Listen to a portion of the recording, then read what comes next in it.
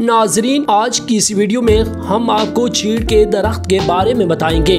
यकीनन आप चीड़ के दरख्त से वाकिफ होंगे। ये दरख्त ज़्यादातर आपको पहाड़ी इलाकों में नज़र आते हैं। आज इस वीडियो में हम इस दरख्त की पत्तियों के बारे में जानेंगे कि किस तरह इनको इस्तेमाल में लाया जा सकता है और इनसे क्या फायद हासिल किए जा सकते हैं। वीडियो शुरू करने से पहले अगर आपने हमारे चैनल ए क्यू पॉइंट को सब्सक्राइब नहीं किया तो सब्सक्राइब कर लें और बेल को प्रेस करें ताकि हमारी आने वाली तमाम वीडियोस की इतला बर वक्त आपको मिल सके। नाजरीन, आपने चीड़ के दरख्त के बारे में यकीनन सुना होगा। चीड़ का दरख्त मरी कश्मीर और इनके मोलिका इलाकों में कसरत से पाया जाता है। चीड़ के दरख्त दुनिया के मुख्तलिफ़ ममालिक, जिसमें अफ़गानिस्तान, भूटान, नेपाल, बर्मा और इंडिया शामिल है, इनमें बड़ी तादाद में पाए जाते हैं। आज इस दरख्त की पत्तियों के बारे में जानने की कोशिश करेंगे कि किस तरह इनको इस्तेमाल में लाया जा सकता है और इनसे क्या फायद हासिल किए जा सकते हैं। चीड़ की इन पत्तियों को इंग्लिश में पाइन नेडिस कहा जाता है और पहाड़ी ज़ुबान में इसको चंपोतल और दीगर नामों से पुकारा जाता है। कुछ अरसे से मरी कश्मीर और इनके मोलिका इलाकों में जंगलात में आग लगने के वाकयात में बेपना इजाफा होता जा रहा है। जंगलात में आग लगने से न सिर्फ़ दरख्त, बल्कि जानवर और मासूम परिंदे भी इनकी जद में आते हैं, जिससे कुदरती हुस्न तो खत्म हो ही रहा है और साथ साथ मौसमियाती तब्दीली भी रोनमा हो रही है, जिसमें दर्जा हरारत का ज़्यादा होना, बर्फ़ का कम पड़ना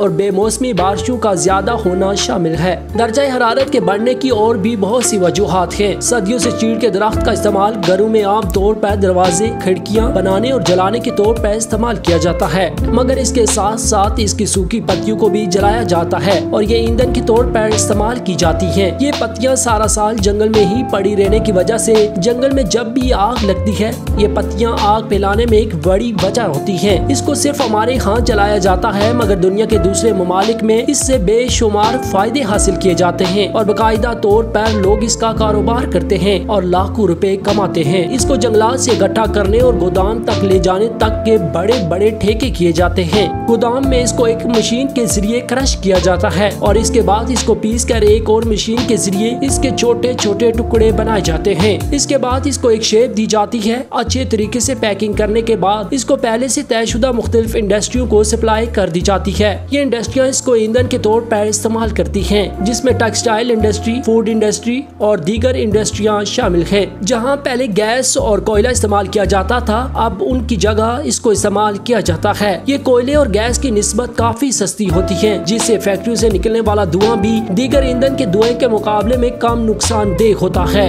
इन पत्तियों को न सिर्फ़ ईंधन के तौर पर इस्तेमाल किया जाता है, बल्कि इससे चिप पोर्ट और डेकोरेशन पीसेस भी बनाए जाते हैं। आपको ये जानकर हैरानगी होगी कि चीड़ के इन सब पत्तियों का कावा भी बनाकर पिया जाता है, जो जुकाम, खांसी में काफ़ी मुफीद साबित होता है। चीड़ की पत्तियों और चाल से मेडिसिन की दुनिया में मुख्तलिफ़ दवाएँ भी तैयार की जाती है, जिसमें सूजन, जुकाम, खांसी और दीगर बीमारियों की दवाएँ शामिल हैं। अगर इन पत्तियों को घरों और दीगर जगहों पर ईंधन के तौर पर इस्तेमाल करना शुरू कर दें तो न सिर्फ़ दरख्तों की कटाई में कमी आएगी, बल्कि कुदरती हुस्न कायम रहने के साथ साथ जंगली हयात भी महफूज रह सकेंगी। नाजरीन, उम्मीद है आपको हमारी ये मालूमती वीडियो पसंद आई होगी। अगर आपके पास इससे मुतालिक मालूम है तो हमारे साथ ज़रूर शेयर करें। कमेंट्स बॉक्स में अपनी राय का इजहार ज़रूर करें और मजीद वीडियोस के लिए हमारे यूट्यूब चैनल और हमारे Facebook page A U point को ज़रूर सब्सक्राइब और लाइक करें।